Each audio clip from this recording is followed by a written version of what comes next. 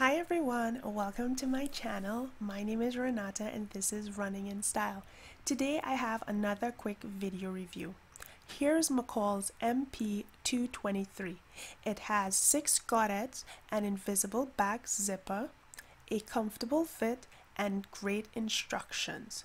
I opted to forgo the gathered tie end because I didn't have enough fabric and what I chose was too heavy and weighed down my top. The neckline came together really nicely on this blouse and I love the linen look of this fabric. I got it from Joann's and I think it looks great paired with my new ginger jeans. I will have a review for that soon but overall I'm happy with this project. I love how this fits. My shoulders are comfortable because that's usually one of my problem areas because my shoulders is a little bit wider and this fits perfectly. There you have it.